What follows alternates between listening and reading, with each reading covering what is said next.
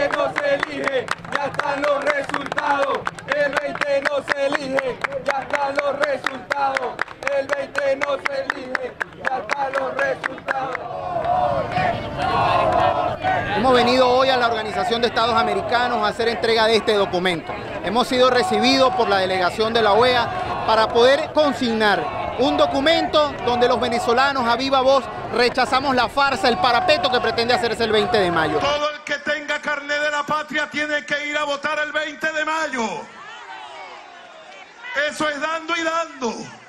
Dentro de las instalaciones del Consejo Nacional Electoral y están, repito, entregando cajas CLAP, cajas de comida del gobierno nacional cuatro días antes de las elecciones eh, presidenciales. Tenemos casi más de seis meses que no nos viene la caja de, de CLAP aquí y siempre con el engaño que no, que mañana, que pasado, que tal y estamos en estas circunstancias. Yo estoy pensando en darle un premio al pueblo de Venezuela que salga a votar ese día con el carnet de la patria, lo estoy pensando.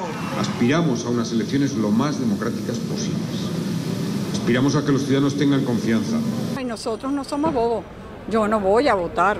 Este domingo no son elecciones, señores. Hacemos un llamado para no legitimar la dictadura en Venezuela. Este es el helicoide. Tenemos esto tomado en protesta por los muertos aquí adentro, por los menores de edad que todos los días son torturados, porque hoy casi matan a otro compañero por órdenes de unos funcionarios. Al final de cuentas, yo creo que salimos súper bien de una situación que pudo haber sido muy peligrosa.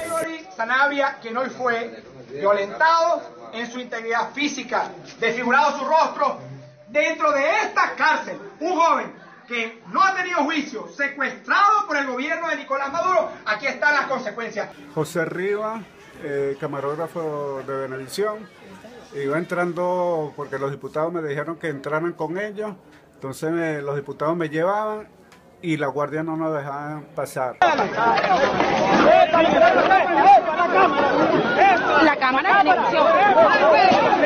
Me zumbé arriba de la cámara a protegerla y de ahí me empezaron las guardias nacionales, los guardias que estaban alrededor, a darme patadas. Me dieron tres patadas por la costilla y, y uno en la cara.